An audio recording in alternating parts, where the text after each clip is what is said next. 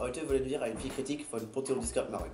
Dieser Film geht um eine Zukunft, wo die Gesundheit von einer Maschine regiert wird. Diese Maschine heißt Sherlock. Sie kann alle Probleme der Menschen wahrnehmen und sie lösen. Aber die Genesung der Patienten hängt von ihren finanziellen Mitteln. In dieser Zukunft regiert das Geld das Gesundheitssystem. In dieser Geschichte gibt es drei Patienten und einen Arzt. Es gibt einen blinden Mann, einen anderen, der Krebs hat und eine verrückte Frau, die kein Gedächtnis mehr hat.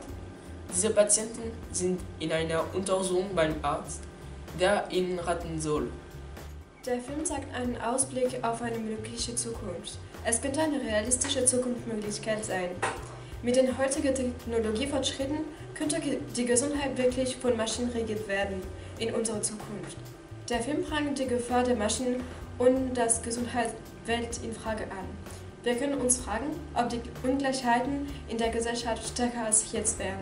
Zum Beispiel, in diesem Film kann der blindreiche Mann geheilt werden, obwohl die zwei anderen Patienten, die ärmer sind, keine Lösungsvorschläge haben.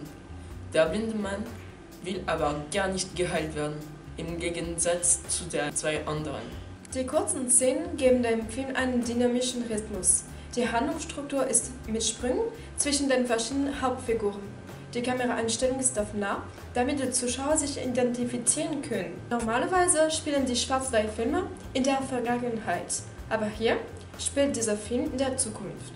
Vielleicht ist es, um zu zeigen, dass der Arzt kein Gefühl hat oder im Gegensatz, dass er traurig ist. Es bringt eine bedrückende Stimmung, denn Farben bringen oft mehr Emotionen. Diese Kritik an der Gesellschaft warnt mir vor der Automatisierung und die Macht des Geldes. Deshalb ist er interessant, aber auch unheimlich und macht Angst. Ich hatte mir nie diese Zukunft vorgestellt, bevor ich den Film gesehen hätte.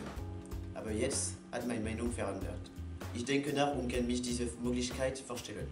Ich finde diesen Film auch ganz traurig.